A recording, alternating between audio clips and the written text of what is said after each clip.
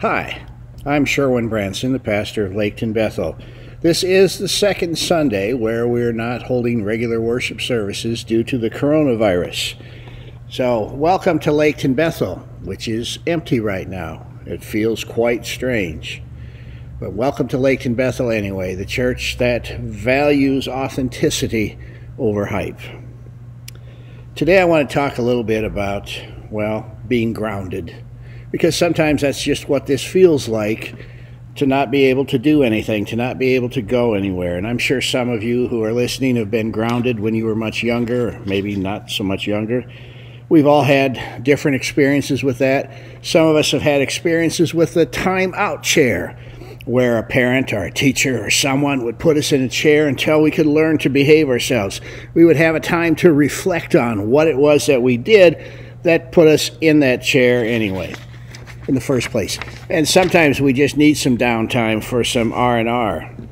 We rest till we get bored and then we end up going back to work. Some people get sabbaticals. A lot of professors do that. Every seven years, they get a paid year off or a paid semester off at least, to do whatever it is they need to do. Sometimes they rest, sometimes they work, sometimes they do research, sometimes they study. Pastors in the Reformed Church get one week a year of study leave that can accumulate up to seven. Now, I always take mine every year because I like to use it for planning. But the purpose of a sabbatical is to rest, to renew, to reflect on life and the direction that you're going, to learn, and to reconnect with God. That's why we have these sabbaticals. But for most of us, that's just unheard of. We rarely take intentional downtime. We rarely take time for reflection. We don't have time to do that. Some folks take gap years. Some kids are doing that between high school and college or between college and the first job. And sometimes people get a gap year not by choice, but they're laid off from their work. Or, like right now, being sent home because of a coronavirus. Now, I'm not saying that God caused this coronavirus. It is possible, but we don't know that. I just want to ask the question today what if God is causing this? What if this is something that's part of His plan? What if He ordered this? He says, I'm going to call some folks home because their time is up, and the rest of you are going to get through this, but there's going to be some changes. You're all going to have to take some time off. Many will work from home, some won't work at all. Now, in this time of downtime, what are we going to do? What is going to be our best response? How can we use this ordeal with this virus to make us better? We have this downtime now. How can we use it best? Now, there's some advice from Jesus on this some that we learn from the Gospel of Luke. There's a story in the Gospel of Luke where, where Jesus stops in at the home of his friends, Mary and Martha. And there's some downtime taking place there. Here's how it reads from the Gospel of Luke, chapter 10. As Jesus and the disciples continued on their way to Jerusalem, they came to a certain village where a woman named Martha welcomed him into her home her sister Mary sat at the Lord's feet listening to what he taught. Now, wouldn't it have been nice to have been a fly on the wall there to hear what Jesus was teaching to Mary? Maybe he was teaching her the summary of all of his teachings, like it says in Matthew 7, verse 12, to treat others the way you want to be treated. Maybe he was talking to her about his new commandment, where he says, A new command I give to you, that you love each other just as I've loved you. That's how they'll know that you're my disciples. That's how they'll know you're my students. But one thing is for certain Jesus was enriching Mary's soul. She was taking the time to listen to him, to reflect with him, and to have her own soul enriched. Her sister saw things differently. The passage goes on like this But Martha was distracted by the big dinner she was preparing. She came to Jesus and said, Lord, doesn't it seem unfair to you that my sister just sits here while I do all the work? Tell her to come and help me.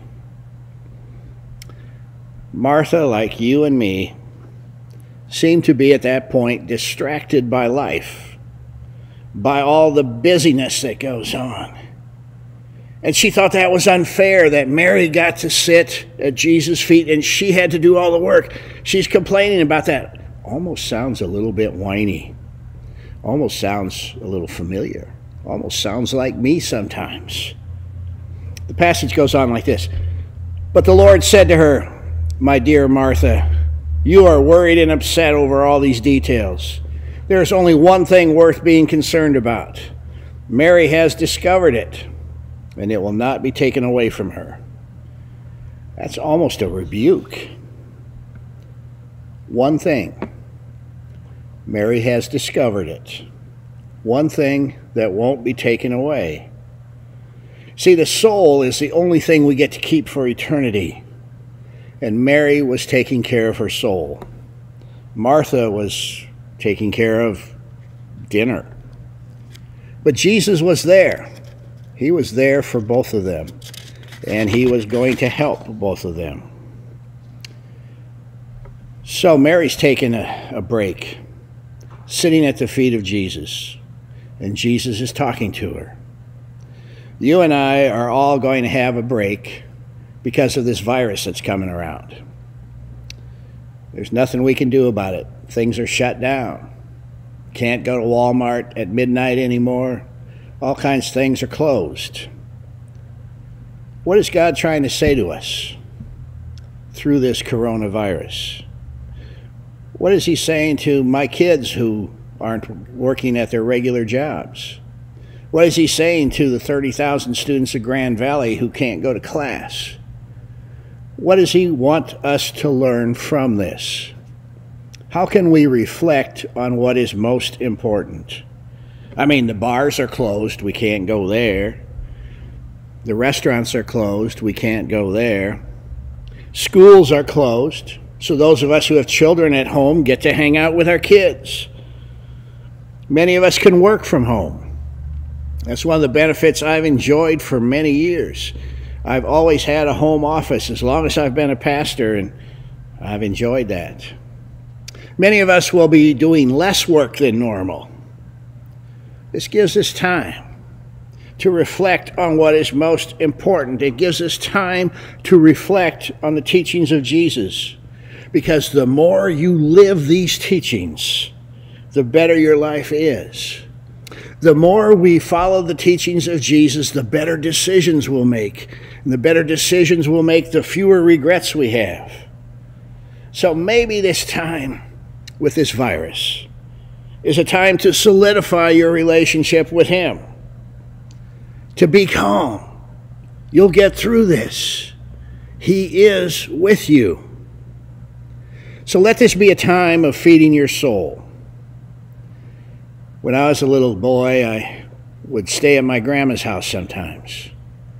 And she had a peculiar habit of sitting in her chair in the dark, all by herself in her living room. I always thought that was kind of strange. But that was her time to be alone with God. She prayed, she thought, she listened to what God had to say to her. And when we try to practice this ourselves, just taking some time to sit alone with no screens, no speakers, and invite God to direct our thoughts, He will do it.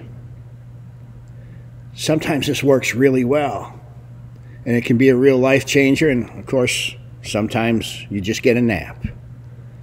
But oftentimes, when we invite God to speak to us in the quiet, He does. This pandemic's going to pass. Someday it will be over. One thing is for certain it will change us. It'll change you and it'll change me. We get to decide how it's going to change us. My hope for all of you is that your faith grows. My hope for myself is that my faith grows through this.